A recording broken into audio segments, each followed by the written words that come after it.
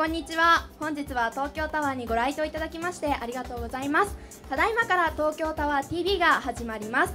本日の MC を務めます越塚まみです。よろしくお願いします。東京タワー TV は素敵なアーティストやゲストをお招きしてライブありトークショーありでお送りする東京タワーの魅力をお伝えしていく番組です。東京タワー TV は毎週日曜日放送のユーストリーム番組です。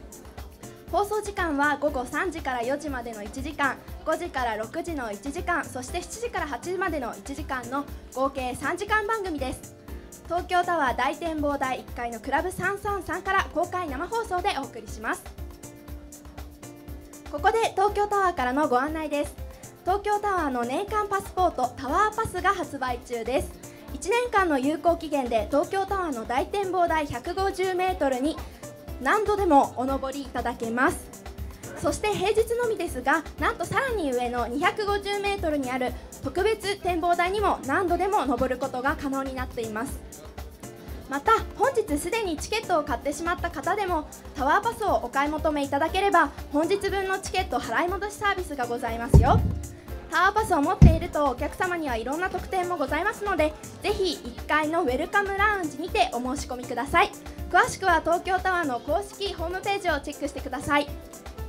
それでは本日の東京タワーの、T、東京タワー TV の出演者を紹介します。この後すぐグラビアアイドルの川名しおりさんによるハロー TV をお届けします。午後3時30分からははるかザ・スーパートラフィックジャムズ素敵なライブをお届けします。そして午後5時から歌手の別紙ともこさんが登場します。午後7時からはシンガーソングライター永山翔太さんが登場します。ぜひ最後までお楽しみください。それでは早速グラビアアイドルの川名しおりさんによるハロー TV をお届けします。川奈さんよろしくお願いします。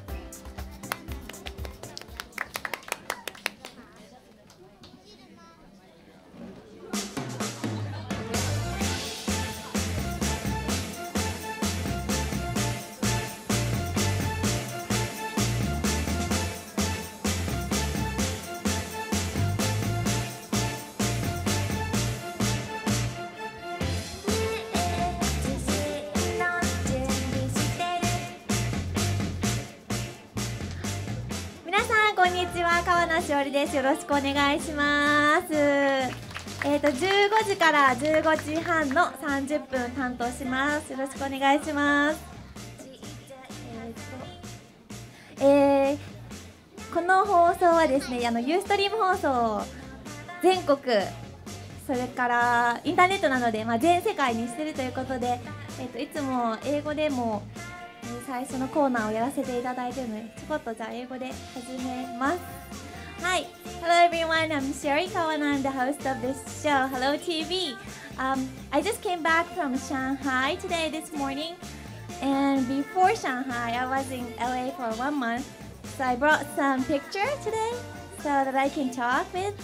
And I'm gonna talk about LA and New York and San Francisco and Shanghai for 30 minutes. So stay tuned. はい、というわけでですね、えっと、私はですね小さい頃から、えー、アメリカのサンフランシスコに住んでまして現在も、えーと、ロスと,、えーと、日本と,、えーと、行き来をしながら活動を今はしています。で今日はですねその最近の写真をちょっといろいろ持ってきたのでそれも説明しながらいきたいと思います。まずはそうですね。ワンポイント英会話というコーナーを毎回やってるのでそれからいきたいと思います。本当に簡単に覚えられるような英会話を、えー、っと毎回紹介しています。今日はですねあのもうすぐホワイトデーがあるということでなんかそれに関するのがいいんじゃないかって言われたんですけどそうだなと思ってあのアメリカはバレンタインが、えー、っと男性から女性に渡す方が多いんですよ。で、まあ、チョコとか限らずお花とかを渡すことが多くてですねあとはまあ友達同士とかあんまりその女の子が男の子に渡すっていう感じではなくホワイトデーももちろん、まあ、ないんですけども今日はまあえー、っとホワイトデーというか今使えるような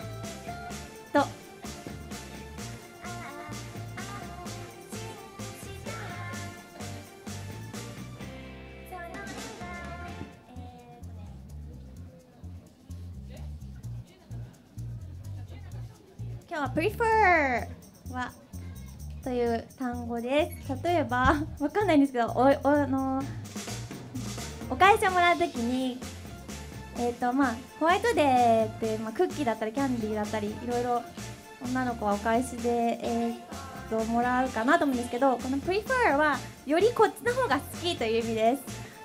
あんまり自分からリクエストしてもらうことはないと思うんですけども、えー I prefer cookie クッキーの方がいいな。キャンディーどうですか？って聞かれたら、まあ、I prefer cookie クッキーの方がいいです。という単語。あとはですねちょっとニュアンスは変わるんですけど rather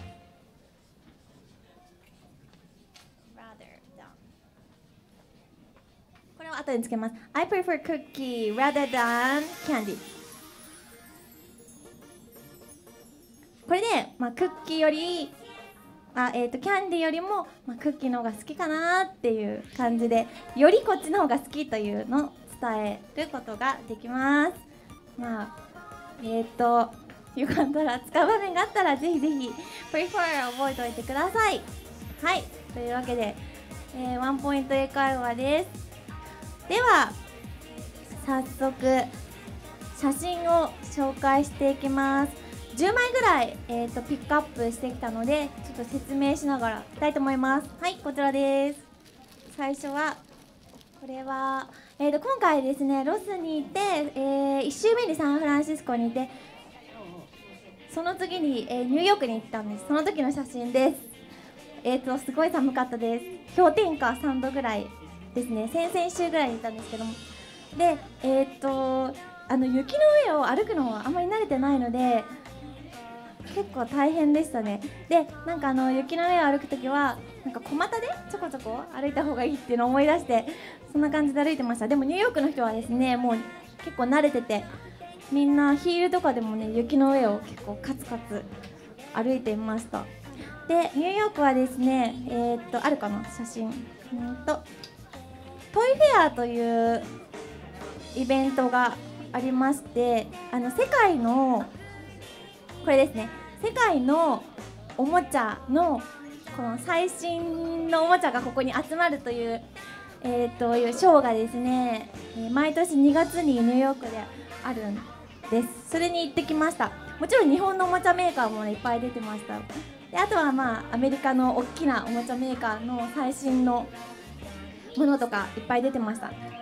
やっぱなんか最近はですね、うん、ゲームとかあのなんかデジタルなものが結構いっぱいありました。でそうニューヨークといえばおもちゃといえばですねこちらにも行ってきました。じゃん。キティちゃんがいっぱい。これは、えーニューヨークで一番有名なおもちゃ屋さん FAO シュワルツというお店があって、まあビル全部がおもちゃ屋さん巨大なおもちゃ屋さんなんですけどもキティちゃんのコーナーがあってですね結構いっぱい人がいました。なんか日本でもこんなにないんじゃないかっていうぐらいキティちゃんグッズがいっぱいありましたね。でえー、とあとは見たのはあのちっちゃい時にね私が遊んでたシルバニアファミリーとかもありました。でも名前がちょっと違ったんですけどなんかそんなのもいっぱいありましたね。あと日本のおもちゃといえばねなんだろう。やっぱり任天堂とかセガとかゲーム関係。あとはそうですね。あとまあぬいぐるみとかいっぱいありました。えー、次はうんこれこれ飛行機から撮った写真ですね。なんかあのいつも本当はこの離陸と着陸の時が一番景色が見れるので撮りたいんですけどあの離陸と着陸の時はオフにしなきゃいけないのでなかなか景色の写真が撮ることができません。でいつもまあ雲の写真になってしまうんですけど。まあ飛行機からの写真。そしてこちらがロスで私がお世話になっているスタジオです。ここにねフィギュアが置いてあります。なぜかというとここはあの日本のアニメを海外で結構放送してるんですよ。それの、えっと吹き替えをするスタジオですここが。であのー日本のアニメをアメリカの声優さんが、えっと英語で吹き替えをしています、えっと見させてもらったんですけどここも結構ね面白かったです。日本のちょうどね私がいた時はあれ見せてもらいました「マドカマギカの」あの映画のを見せていただいてなんか日本語じゃなかったのねすごい変な感じだったんですけども面白かったです。であとは何やってたかな。結構ね日本のアニメいろいろここでやってます。えっ、とあのー最近プロモーションを担当させていただいてる宇宙戦艦ヤマトもここでやってましたね。はい。そして他の写真はあこれはブログからですね。これはロスです。今回忙しくて海に1回しか行かなかったんですけどその夕方かな？夕方ぐらいです。はい。綺麗な写真。そしてあこれもあれですね。ニューヨークの入り口ですね。そのおもちゃ屋さんの先ほどの。7時に閉まるのでこれはもうねみんなに出てくださいって言われてるところです夜。あとはこれはこれもブログからです。ロス。でえー、っとあのん？あそう。これはねペットを探してますっていう張り紙が結構猫とか犬とかねありますよね。それでなんかね鳥を探してますっていう張り紙を発見しました。でえー、っと名前はマック白0.5パウンド。で見つけたら賞金あり。です。ただ鳥なので飛んでっちゃうのでちょっと難しいかなと思うんですけど。これねあの結構ロスのえー、っとファーストフード入ったりとかいろんなお店入ったんですけど結構ねいっぱいいろんなところで見かけました。すごいねすごい探してるんだなと思ってまだ見つかってないみたいですよ。はい。ね。あとこれはこの人分かりますか？ドクター・オズあのアメリカですごい大人気のあのショーあの日本でもねケーブルかなでやってるんですけどちょうど飛行機に乗った時に雑誌に載ってたのであドクター・オズだと思って。あのー去年アメリカで影響アメリカ人に影響を与えた人トップ10かなんかにも入ってるぐらいすごいあの大人気のドクターでなんかハーバードかなんか卒業しててであのある番組の中でコーナーを担当してたんですけどそのコーナーがすごい大人気になって自分で番組を持つようになったというお医者さんなんですお医者さんでタレントみたいで毎回ね健康情報を結構面白く教えてくれるのでためになります。これあの毎週かな？やってて大人気で面白いです。はい。こんな感じで次はこんこれはえー、っとこの写真はですね、まあ、なんてことのない、えー応接室なんですけどここに一番よく行ってたかなっていうくらいお世話になってる弁護士さんの事務所です。はい。向こうは結構弁護士さんと、ね、お仕事をすることが多いので、あのー何回かミーティングに行ったりして、あのーお世話になりました。はい。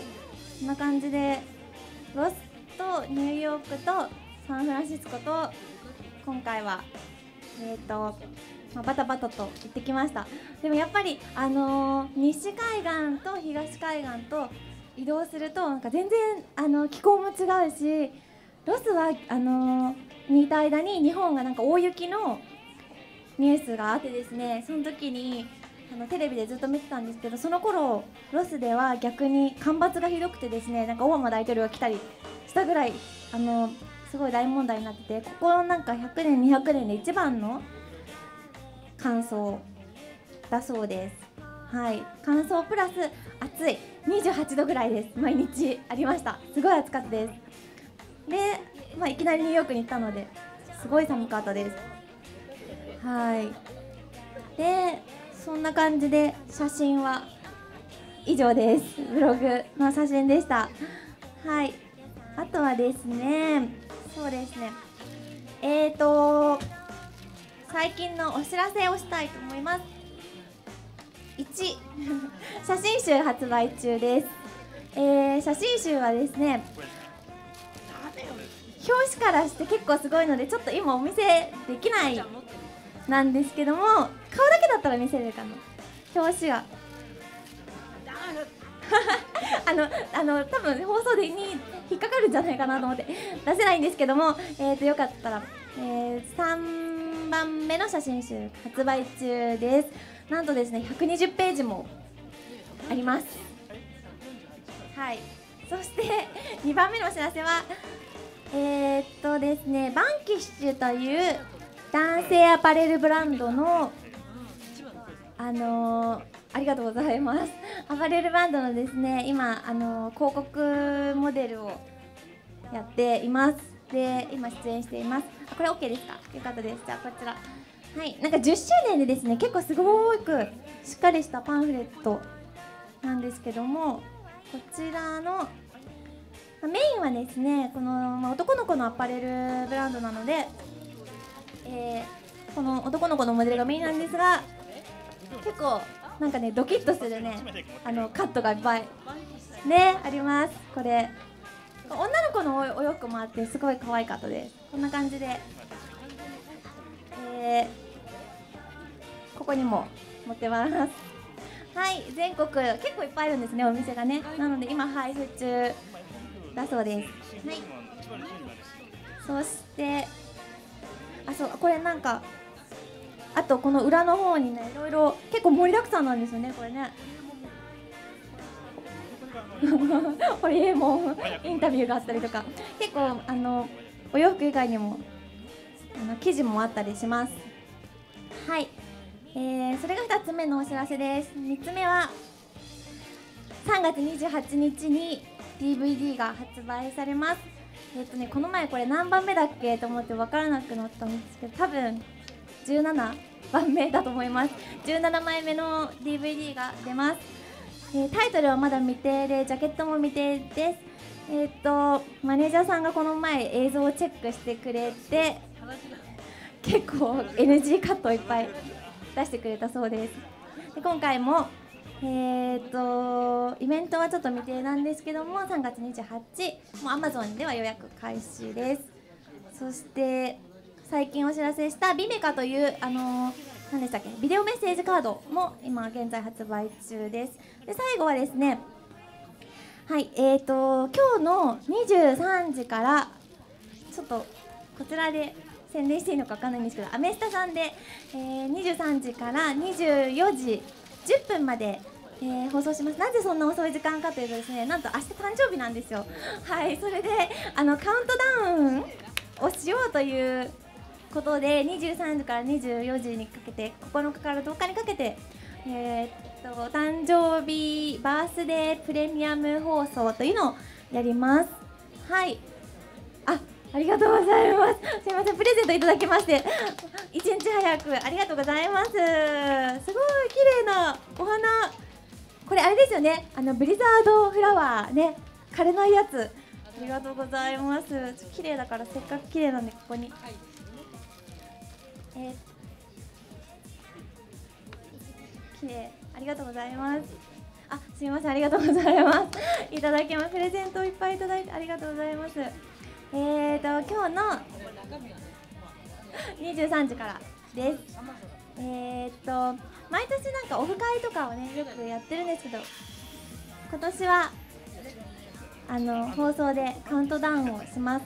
まだね内容を考えてないのでちょっとどうしようかなと思って来てくれた皆さんとなるべく交流ができるような形でえー、と放送できたらいいなと思ってます。1時間なんで皆さんよかったらぜひあのアクセスしてもらえたら嬉しいです。で明日でですねえー、っと3月10日で、えー、30なんですけどもはい。どうしよう。しっかりしないとと思ってみんなにしっかりしなさいと言われて。言われてますのでちょっとしっかりしようと思います。はいえっ、ー、とあのー、今グラビアが、まあ、30ということで22からやってるので今8年目なんです。何気に。で、えーまあ、今回の3月28の DVD で17枚目というなんか気づいたらこんなにすごい時が早いと思って二十歳過ぎたら早いって言うじゃないですか毎年が早いのでちょっと今年はしっかりしたいかなと思ってます。こんな感じでお知らせは以上です。ビメカも宣伝しました。はいあとはブログを、えー、アメブロをやってます。ツイッター、フェイスブックなどやってますのでよかったら見てください。えーとまあ、海外と両方でやってるので英語と両方でなんか混ぜ混ぜな感じでやってるんですけども。はいあと何気にこの歌の後ろにかかってる歌はえー、ファーストアルバムからの曲です。こちらも、えー、YouTube などで聴けます。そんな感じでしょうか、えー、2ヶ月ぶりのハロー TV、えーと、なかなかスケジュールが先月は合わなくて2ヶ月ぶりになってしまったんですけどもこれからも、えー、いろいろと発信できればなと思います。というわけで、えー、締めはい。はいどうぞ。はいはい。エアロビですか？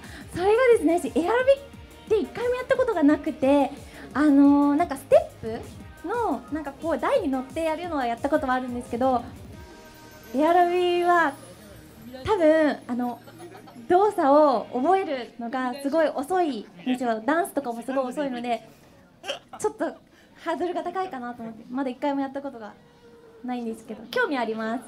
普段はですねあれをやってます。あの1人で黙々とやるやつみんなとやるのではなく1人で黙々とやる運動をやってます。あとはお風呂上がりに四つん這いになってこう足を上げるっていうヒップアップ運動は一応毎日やってます。こんな感じですかね。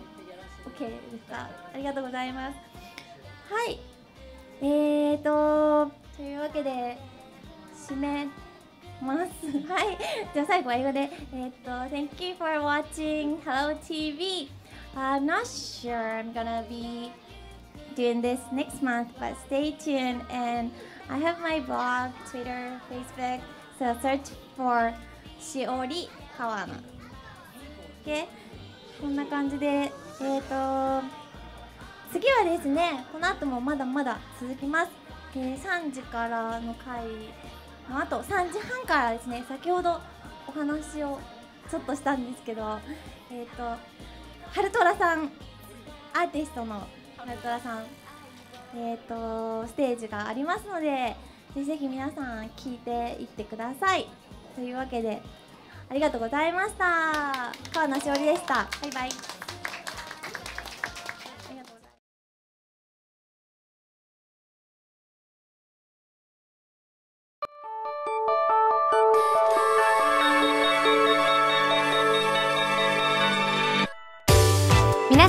にちは。東京タワーをご案内させていただく神奈川悦子です。東京タワーの魅力のすべてを皆さんにご紹介いたします。高さ333メートルの東京タワーは1958年昭和33年に完成いたしました。以来50年以上にわたり首都東京のシンボルとして皆様に親しまれています。東京タワーの魅力は何といっても展望台からの眺めです。ここは高さ150メートルの大展望台。大都会の真ん中にある東京タワー。360度のパノラマはとても素敵です。ルックダウンウィンドウからは145メートル下の風景が覗けます。ドキドキの空中散歩も楽しめますよ。こちらは東京タワーのオリジナルグッズが満載のグッズショップです。人気のグッズが300種類も揃っていますよ。大展望台からさらに 100m 上には高さ 250m の特別展望台があります。大展望台とは一味違う壮大な景色に出会えますよ。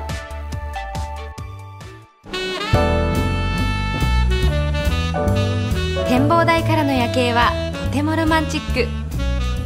大切な人と来てみたいですね。ここは大展望台にあるカフェラトゥール。食事をしながらゆっくりと夜景を楽しめます。タワーの真下にあるフットタウン。楽しさ満載のエリアです。水族館もあります。全部で900種類。5万匹のお魚たち。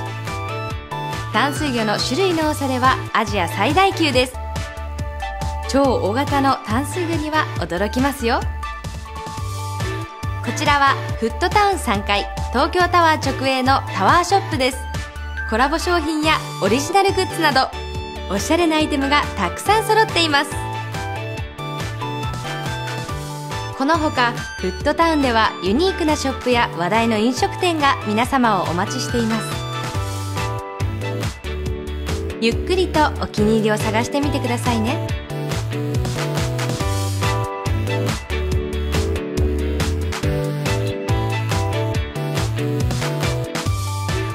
最後に初めてお越しになる皆様へのご案内です。公共交通機関でお越しになる際はご覧の各駅をご利用ください。最寄りの駅は都営大江戸線赤羽橋。東京タワーまで徒歩5分です。お車でお越しの方は東京タワーの駐車場をご利用いただけます。営業時間と入場料はご覧の通りです。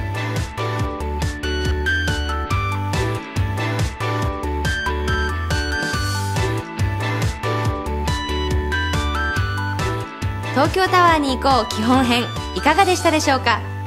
ここでご覧いただいたのは東京タワーの魅力の一部です。まだまだ他にもお楽しみは盛りだくさん。そちらは東京タワーに行こうお楽しみ編でチェックしてみてくださいね。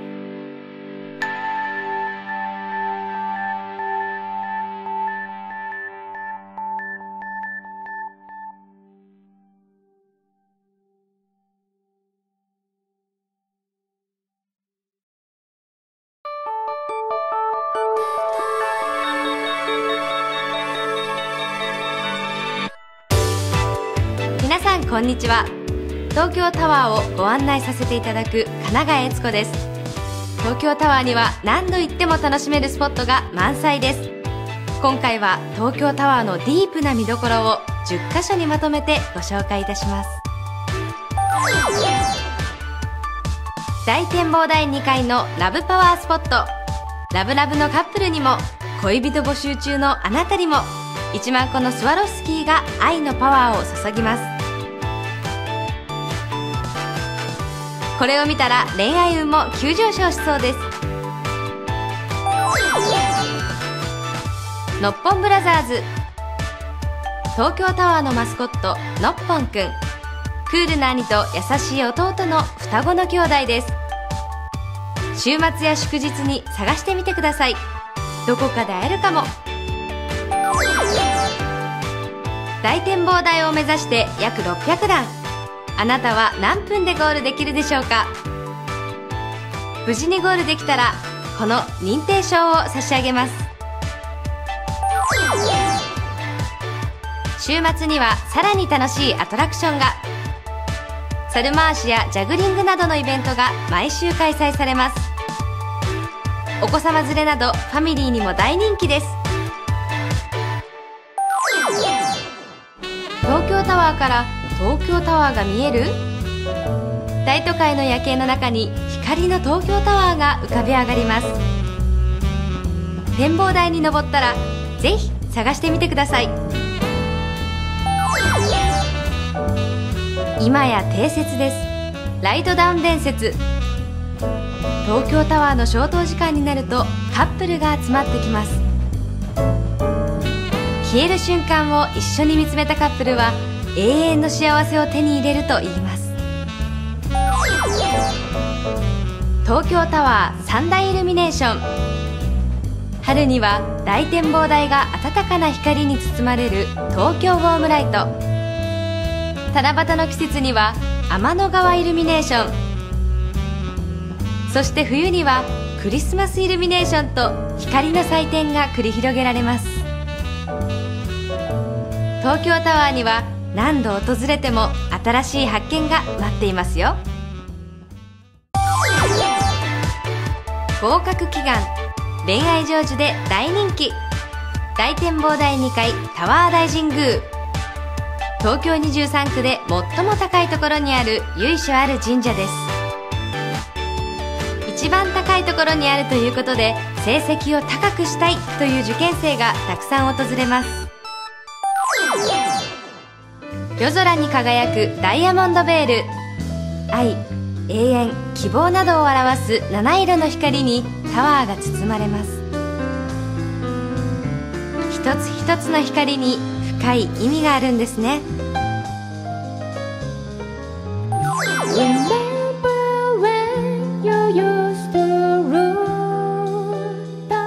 東京タワー夜のお楽しみ大展望台のステージクラブ333ライブ演奏など日替わりでイベントを開催しています。音楽と夜景を同時に楽しめるなんて贅沢ですね。そして最後にもう一つ。それは東京タワーで働くスタッフです。東京タワーでは何よりもおもてなしの心を大切にしています。それでは皆様のお越しをお待ちしております。